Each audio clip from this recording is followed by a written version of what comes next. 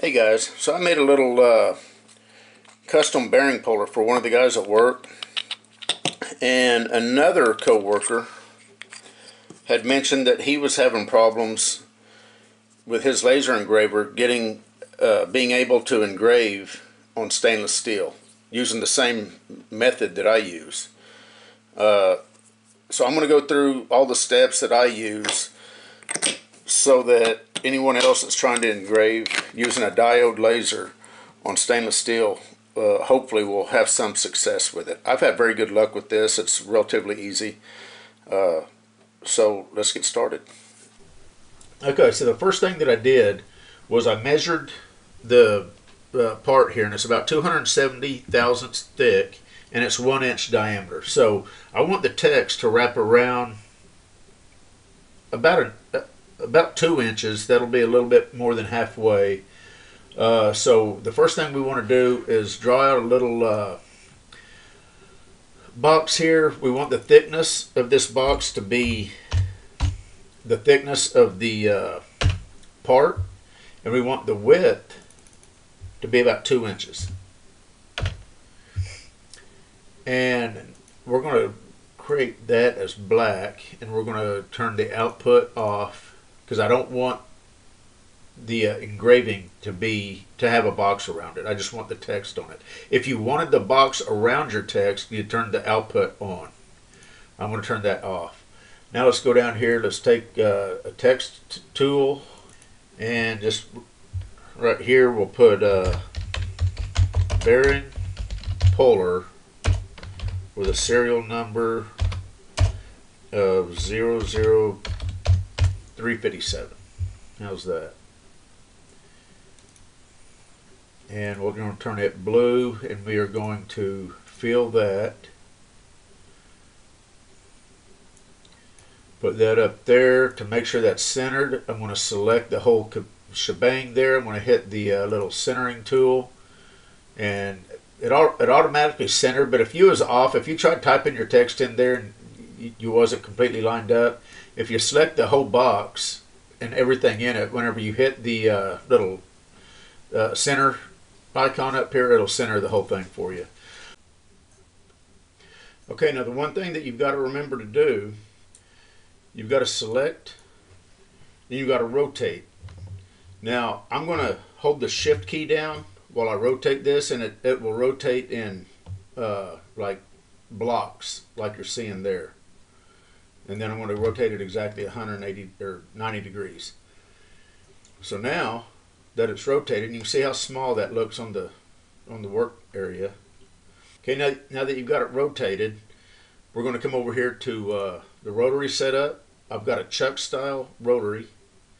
Uh, you've got to enable the rotary. And it, now through trial and error, don't do don't don't try this without at least doing a test burn first to make sure that all, all your settings are correct. Sometimes, depending on how you've got things set up, this mirror output to rotary will either need to be turned off or on. Through trial and error, I already know that I need to have mine turned on. Otherwise, it'll print backwards. If it looks like it's printing your text backwards, turn this on and then it'll print the other way. It's the y-axis that I've got the uh, rotary connected to. This 160 millimeters per rotation, I have another video on how to make sure that you have that set right for your uh, laser. Now this is on an Atom Stack and 160 millimeters per rotation is the uh, setting so it works so this Xtool rotary works correctly on my Atom Stack laser engraver. Object diameter is one inch so we're going to select one inch and it automatically will tell you the circumference of that part. So obviously 3.141 is the circumference of a one inch part. Uh, once you've got all that done, hit OK. The only other thing that you want to do is come over here and make sure your settings are correct. Now, it's always a good idea to do a test burn and make sure that your uh, whatever settings you're using are going to be appropriate. Now on this particular Atom Stack, I'm going to use a speed of 1500 millimeter, millimeters per minute and 35% power. and I've got, if you look down here to the lower right, I've got uh, current position selected, which is the way I use my laser engraver, and I've got the job origin centered. So now that we've got all that set up, you can either click, click this Save G Code button here, or you can go up, come up here to File, Save G Code. Opens up the same dialog box. And you can see my other files that I've already got in there that I did on the original part. And we're going to call call this uh, bearing puller test. We're going to hit Save.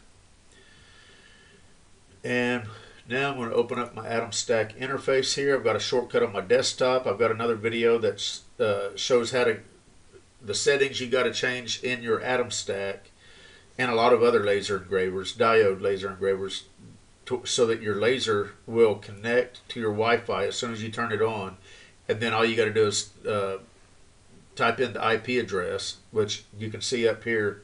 For mine, it's 192.168.146 and I connect right up to my laser. So we're going to go ahead and upload this file to the laser. There's bearing puller test. File is now uploaded. Uh, and that's as far as the web interface, that's as far as I go. Now, if everything was all set up out in the garage, I would I could go ahead and just hit start and it would start burning. But uh, we're not going to do that. We're going to go out in the garage. We're going to manually select it from the screen and uh, make sure everything's set up right and go from there. Okay, so here's the laser. Got it turned on. I got the rotary hooked up. Uh, here's the uh, little test piece we're going to do. Now, I can't chuck this up directly in there because the, the chuck jaws here would hit the, uh, the point of the uh, laser. So what I'm going to do is I've machined down just a little uh, dowel rod and I'm going to press this onto the in fact see if we can get that done right here.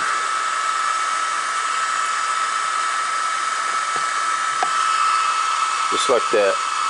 First thing we got to do is go ahead and paint this with the uh, brilliance. And this is where the magic comes in right here. Let me get this painted there it is painted.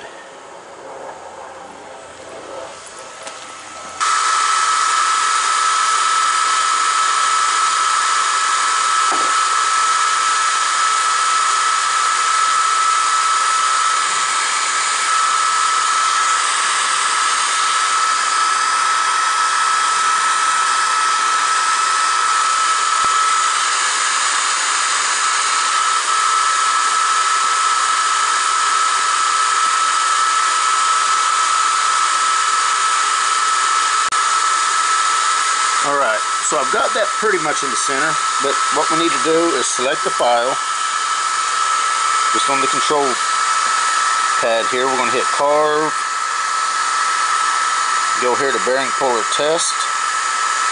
I'm going to hit frame.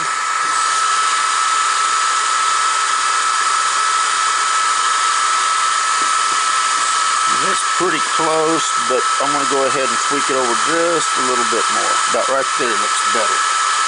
Now, we're going to hit start. Let her go.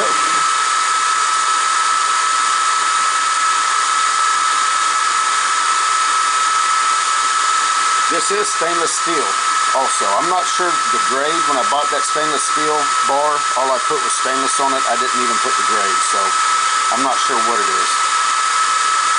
Probably 304 but again, I'm not sure.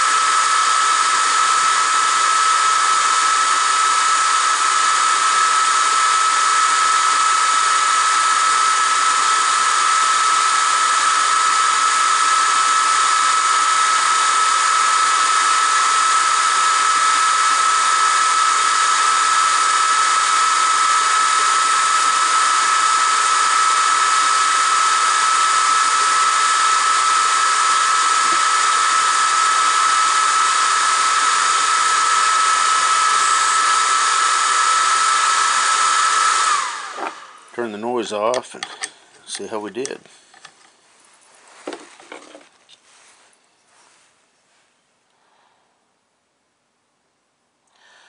Let's rinse it off. Pull this off.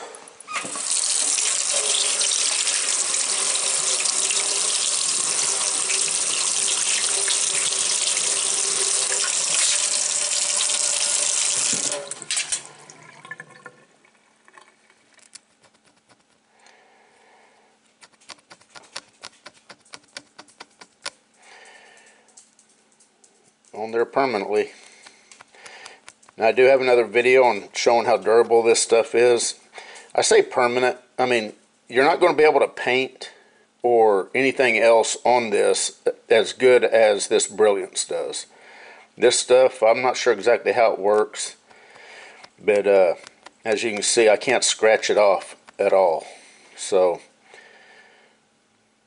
it's laser etched on there beautifully stainless steel again I'm not sure what grade it is but it works it works really good. You guys take care